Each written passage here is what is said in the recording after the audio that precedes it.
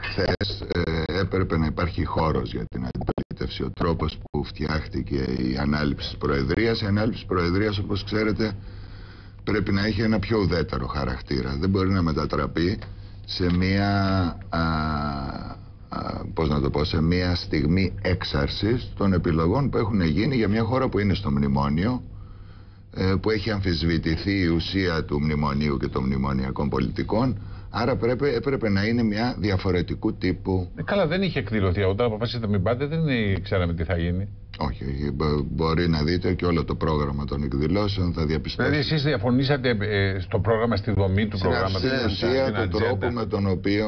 Γιατί ε, δημιουργήθηκε εντύπωση όντως ότι θέλατε να.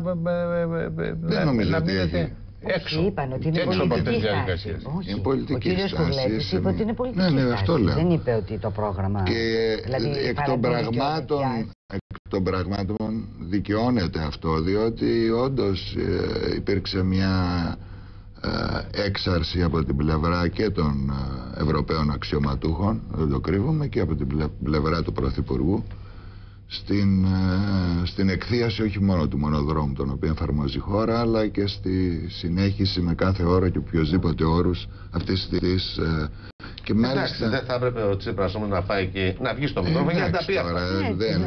Ε, δεν, να πει ότι παιδιά αυτό. μας φέρατε το δούνο του και γι' αυτό τα τραβάμε όλα αυτά. Επαναλαμβάνω νομίζω ότι δεν είναι ε, η ανάληψη προεδρίας δεν έπρεπε να είναι η στιγμή κορύφωσης μιας πολιτικής αντιπαράθεσης από την πλευρά της κυβέρνησης.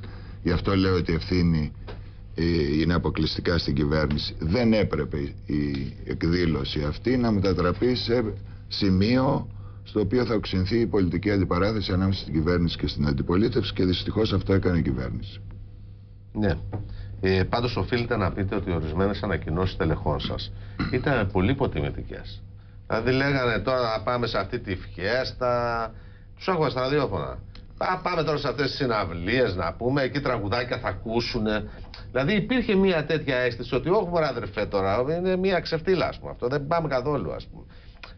Δεν νομίζω ότι είναι καλό ας πούμε, για τους θεσμούς της Ευρωπαϊκούς για ένα κόμμα που ο αρχηγός του διεκδικεί... Σαφώς. Ε, επειδή λοιπόν αυτό ε, είναι το ερώτημα είναι άμα θα γίνεται κυβέρνηση αύριο. Τι θα κάνετε. Γενικότερες, δεν έχει γενικότερες προεκτάσεις πέρα από αυτό. Επαναλαμβάνω μια όξυνση η οποία ήταν πρωτόγνωρη για, από την πλευρά της κυβέρνησης και αναφέρομαι και στον τρόπο με τον οποίο ο Πρωθυπουργός απαξίωσε το να αναφερθεί και στο κόμμα της αντιπολίτευσης, το όνομα του ε, Προέδρου της ε, αξιωματικής αντιπολίτευσης και το καθεξής. Ήταν μια, ε, κατά τη γνώμη μου μια διαδικασία στην οποία η κυβέρνηση έπρεπε να είχε κάνει πολύ πιο προσεκτικά βήματα και αυτό αναφέρεται επίσης και στον τρόπο που οι Ευρωπαίοι αξιωματούχοι τοποθετήθηκαν χθες για μια σειρά από θέματα που είναι στο επίκεντρο της ελληνικής τραγωδίας. Ναι, αλλά το μήνυμα που έφυγε, όχι τόσο προς την Ευρωπαϊκή Ένωση, προς τον ελληνικό λαό, τι είναι, Είμαστε στην Ευρώπη ή δεν είμαστε; Νομίζω είναι ότι όλα αυτά είναι ερμηνεία. Από εκεί και πέρα είναι ερμηνεία.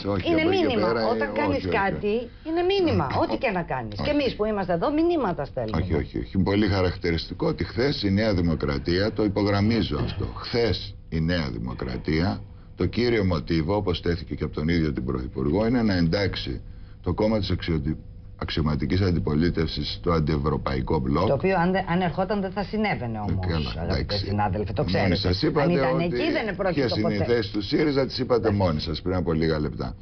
Ναι, ε, άρα γιατί δεν πάει στην Ευρωπαϊκή Ένωση; Αυτό δεν καταλάβαμε. Σας εξήγησα λοιπόν, επαναλαμβάνω, ήταν μια μέρα στην οποία το μοτίβο της ε, κυβέρνησης ήταν ότι ο ΣΥΡΙΖΑ ανήκει στο αντιευρωπαϊκό μπλοκ, ότι το, η σύγκρουση στις επόμενες ευρωεκλογές θα είναι Ευρώπη αντιευρώπη και ότι είναι και ένα κόμμα το οποίο φλερτάρει με την τρομοκρατία. Δεν είναι αυτή η πολιτική ατζέντα για το χειρισμό μιας κυβέρνησης, μιας κυβέρνησης η οποία αυτή τη στιγμή θέλει να διατηρήσει. Ναι, δύο λεπτά. Δύο λεπτά. Τώρα, κύριε Σταδάκη, επειδή είστε ε, ε, λογικός άνθρωπος και μιλάτε ε, έτσι καθαρά.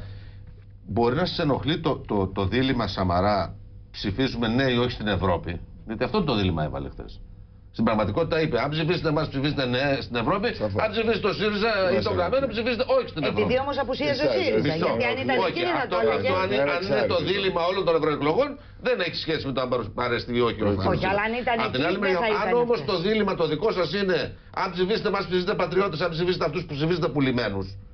Όχι, το, το, το δίλημα το έχουμε θέσει κατ' επανάληψη. Ε, ε, ε, Είναι- Και εσείς δηλαδή στο ίδιο. Στο, Από την άλλη στην- πλευρά Στην τι- άλλη πλευρά τα ίδια διλήμματα βάζετε, ας πούμε. Εντάξει, πέρα από τη διάσταση της ε, ευθυγράμμισης ημί με τις επιλογές τις ευρωπαϊκές, το μήνυμά μας είναι πολύ απλό και δεν έχει αλλάξει γιατί ήταν και το μήνυμα Ναι.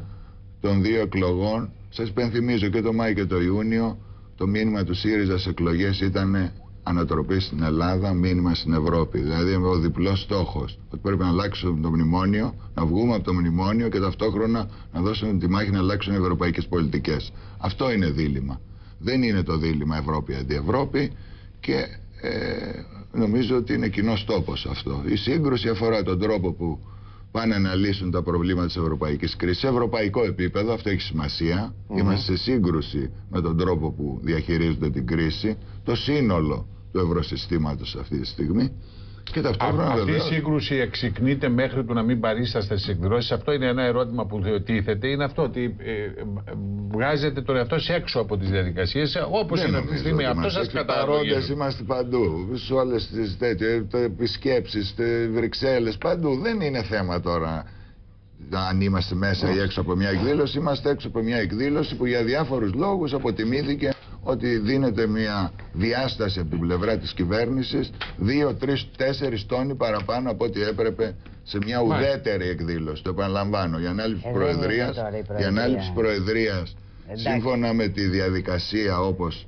ε, αναεξάμεινο ανάληψη μιας χώρας δεν αποτελεί ε, Ε, πώς δεν Εδώ που είναι; τα λέμε δεν έχει Έρχονται- τη βαρύτητα που Όχι, είχε στο α, παρελθόν μα, αυτό. Φυσικά, προσέξτε να δείτε. Φυσικά. Δι- Δεν πρόκειται να αποφασίσει κανείς ούτε η Προεδρία ούτε τίποτε. Όμως η Προεδρία είναι τρόπος να προβάλλει τη χώρα σου, να κάνει δημόσιες σχέσεις, να δεις του υπουργούς, να δεις τους ηγέτε της Ευρωπαϊκής Ένωσης, να τους πας βόλτα, να τους ευχαριστείς. Έτσι γίνεται αυτό. Σε